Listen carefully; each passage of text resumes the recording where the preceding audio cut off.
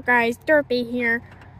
Um, today we're gonna show you how to drive a lawnmower, not like an idiot. Hey guys, it's me, the Crazy Gamer. What is up, everybody?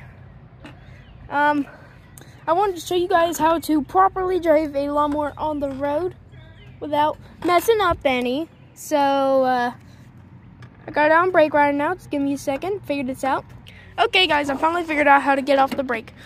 I'm just kidding. I never. I, I always did know. I learned to drive when my when I had my dad let me drive me and my brother around. Yeah, I got out of the back and asked if I could drive. I and I never messed up since he taught me, and now I'm a professional driver. I even drive on the road. Number one, always check your gas can. This is a mowing lawnmower. This isn't like the old one. Uh, they had to tow it away to the junkyard. It wouldn't work. Anyways, you gotta check your gas can. As you see, mine's still full. That means it's good. Now I have this thing on brake right now. I'm gonna show you right quick how to take it off brake. Alright. So you wanna, this is what you press, I'll show you what that does later. You want it right now, you wanna put your foot on the brake. That, and that makes it do that and it, uh, and it unlocks the brake. That means that you will not have a brake anymore, but it's all worth it. Now, what you want to do here is the keys. Now, is your the weirdest thing. You have to press this brake in, while and while you're pushing in the brake, as far as it'll go, turn up this.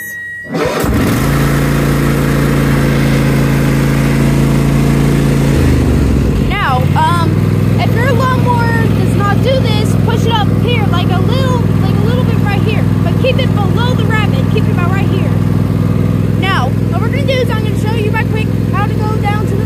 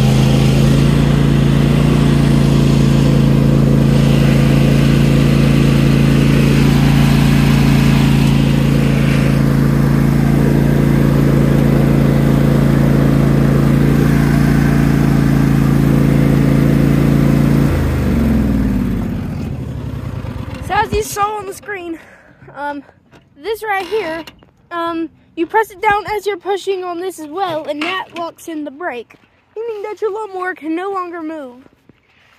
That's all for this tutorial. Sorry I have to go, but I have no excuse, do I? I don't know. I'll be uploading in the next few hours, maybe another day or so. Give it a moment, and I will be playing Roblox again So don't worry. Don't forget about me. Uh, well, let's go. Uh, never mind. Bye.